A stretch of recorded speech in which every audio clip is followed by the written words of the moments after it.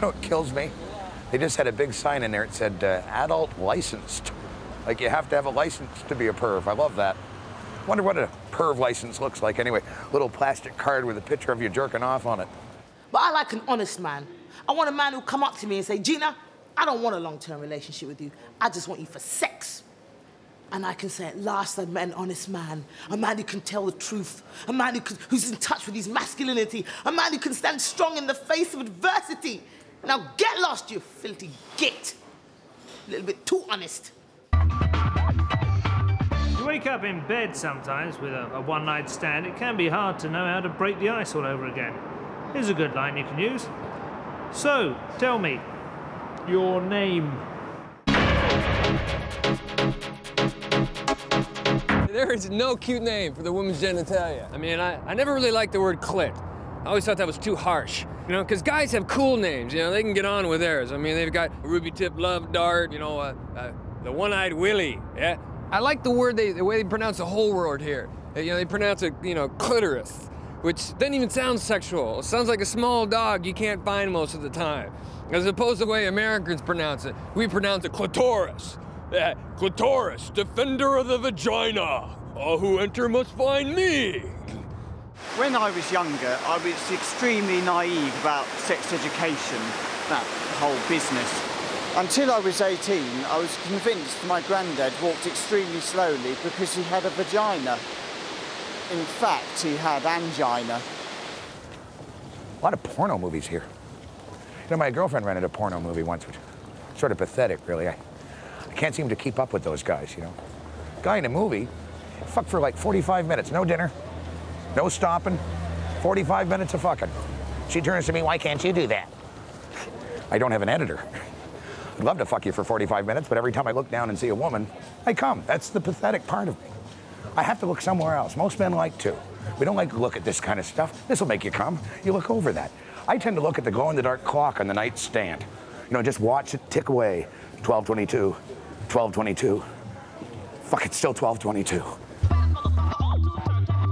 Men's pubic hair, it's like this Art Garfunkel uh, thing that we don't take care of anymore. We exfoliate, we do everything else, but we don't take care downstairs. And that's what we need to do more of. You know, if you give it a little trim every now and again, you really look bigger.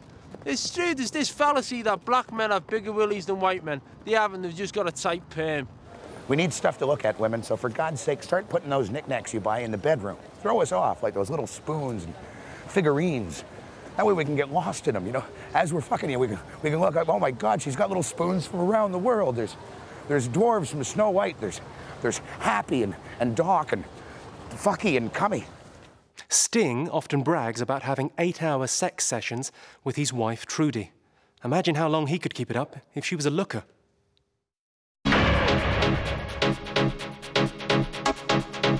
My girlfriend, well, ex-girlfriend, well, we'll just call her bitch, shall we?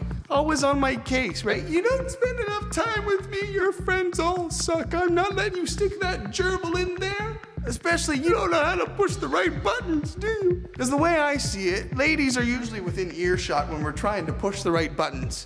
Be nice if you'd give us a hand. It's not like us fellas knowing nothing about automobiles.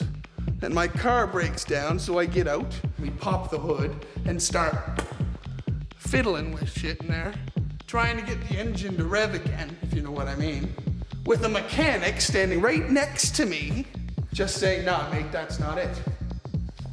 Nah, that's not it either, pal. What the heck are you fiddling with down there? I didn't even know this had one of those. Ouch, ouch. You know what I mean? I'm down here looping and tweaking, trying to get the thing to rev again. I'm like, you're the authority, give me a hand. How many times do we get this one, guys? Well, if you don't know, I'm not gonna tell you. I used to go out with an AA man. He was brilliant. He wouldn't come for at least 45 minutes. Where the hell are these women in real life? Huh? That's pretty. That's a big woman. See, you can't get away with that kind of thing in Canada. That was right up. You know what I mean? That was that, that- that would make a noise if you pulled it out. That's what I'm. That's all I'm saying.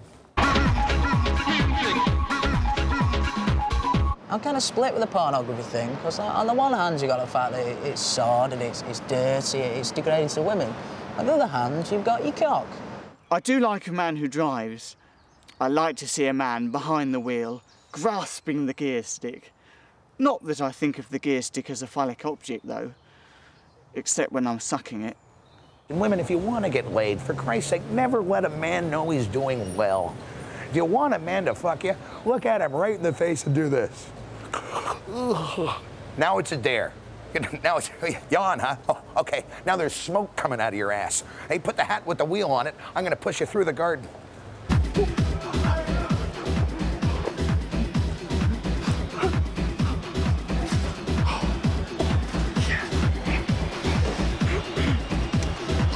you spin your boogers. Come on.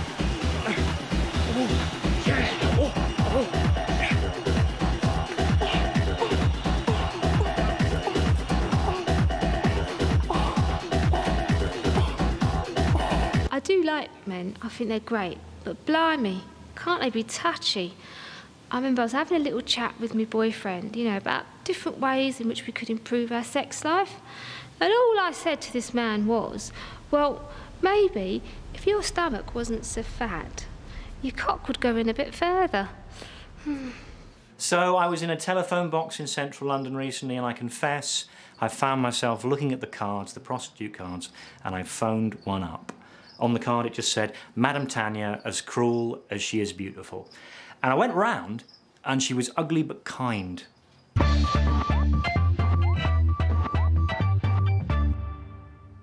I was filling in a questionnaire, and it said, Who would you most like to sleep with? Anyone, living or dead? I put down anyone living. I believe in same sex marriages. I want the same sex when I get married as I had before. I have been accused of being homophobic in the past because I make jokes about gay sex, which I think is a little short sighted. Because I don't make jokes about gay people, I make jokes about gay sex. Because quite frankly, I don't find it offensive. Why on earth would I? I don't give a toss what anyone gets up to. However, I do reserve the right to find it bloody hilarious. Come on, fisting, that's piss funny. Hey? There is something very wrong with the world when I can't laugh at the sight of a man with his hand up another man's ass. Get the hell out of here. Because as far as I'm concerned, if you can get your wrist up there, you're a bloody legend in my book. Hey, how's that working out for you, buddy? Hey, ah, hey. Let's see if I can make you talk. Ah, ah. The thing is, I will look at like something like gay pride, and I will acknowledge that as a righteous cause, because that is about love and relationships. But let's call a spade a spade. Let's tell the truth. But you know the bigot at home? You know the guy that still really hates gay people, the guy that can't stand them? You are never going to get through to him by marching down the street in a big fruity hat. In no way could I possibly perceive him sitting at home going, bloody poofters, bloody puffs, hey, bloody poofters. Oh, hang on, that bloke's in a G-string. oh, I love him now. I've been wrong for years. Hang on, honey. It's okay that our little Tommy's gay. That bloke's dressed as a strawberry. Lewis Schaffer. Lewis Schaffer didn't march in the gay pride parade. I didn't, Lewis Schaffer didn't march in the gay pride parade. Okay? Because number one, not gay. And number two, I had nothing to wear and I felt fat.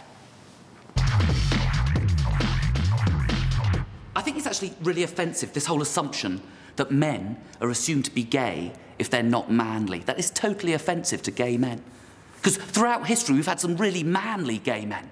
We've had, we've had war leaders like, um, like Alexander the Great and Lawrence of Arabia.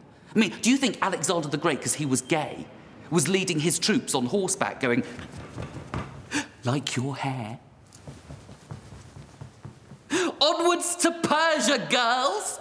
Or leading his troops in song going, I am what I am, I am my own special creation. You know, all his troops behind him going, So come take a look, give me the hook or the ovation. I used to go out with a boxer, but I wouldn't bother girls. They won't go down for more than 10 seconds at a time. This is just perv paradise, man. We don't really have anything like this in Canada. It's too cold to run around naked. My country, if, if I were to wear a thong, it would take four guys to crack it out of my ass. I'm telling you one thing about Canada, too. It's so cold that in, the, in February, none of the men have uh, penises. They all uh, fold inside. We're all vagina men for about February, right up to about middle March. Apparently, in America, lots of women have started having um, cosmetic surgery on their, you know, the, on the old, uh, apparently to, to make it a bit more. It, there's been a big outcry about it, obviously, but uh, as far as I'm concerned, I say, I say all power to you girls, because vaginas have been far too big for as long as I can remember. Here's a piece of advice I read in The Joy of Sex. It said, in a good relationship, it becomes not his penis, but their penis. That is nonsense, and dangerous nonsense. OK, perhaps briefly on a Saturday night you're both enjoying each other's company enormously. Let's both share the penis, let's both enjoy the penis, let's both get out of the penis what we can. Come Sunday morning, it's time to clean the penis. Whose is it then, eh? I think we know the answer to that, don't we? Penis could do with a wash. Oh, we'll wash it then. You had it last. See how far that gets you. Have you seen the penis, darling? Oh, I think it's on the coffee table. Oh, no, here it is, dangling between my legs. Funny, that. Of course, if penises were jointly owned, then as men got older, they'd spend Sunday morning polishing them to establish priority of ownership. I suppose cars are the most obvious penis extensions in society, but pretty much everything a man has is a penis extension. I went to a country show recently, they were all standing there with vegetables of various types and sizes displayed on little plinths in front of them and cushions. It was pathetic. I thought, why not just cut to the chase? Why not every bloke just stand there with his cock out on a little plinth? Have it judged. Obviously, you'd want to be careful where you pin the rosette, but apart from that, I think it would be a lot more honest. Lots of people think of cars as penis substitutes for men, but when it comes down to it, most men use their fingers. That's the one thing about sleaze. I'm not a sleazy person. I've been with the same woman now for 14 years of my life. I don't fool around on her. Not out of love or respect. It's just a not that good in bed. Why go to my way to sexually disappoint someone I don't know? I'm still putting deodorant on before to go to bed with her at night. 14 years, I still look down the hall like, like I'm getting ready for some kind of wrestling event. She puts perfume on her crotch. That's always funny because women can get away with that. Men can't put cologne on our balls. We've done it once. That's a big day for men. That's the day we find out our nut skin is a lot different than our face skin. It was sort of different. I should say different. That's what I'm talking about, nothing now. This is, uh, people are looking at me, and you know what they're thinking because I'm not a celebrity? Everyone out here is thinking, holy fuck, has Kiefer Sutherland put on a lot of weight? I am going to dispel the popular sexual myth that we want you to swallow. Wait for me, gentlemen. When I put this into words, you will worship me as a god. Because it is indeed a popular sexual myth that we want you to swallow all of it. What we really want is for you to swallow half of it. The rest we want to go fucking everywhere. On your tits, on your bangs, down your neck, turn your face into a fountain, ladies. We'll love you for it! I like wank. That's my favorite word out here. Wank, wanker. Wanker's good. That's funny thing about wanker. I'm going to bring that back to Canada. We don't have wanker in Canada. I'm going to bring it back to Canada, and I'm not going to tell anybody it's dirty. That way my mom will say it. I can hear her on the phone now, you know. And a happy birthday to you too, wanker.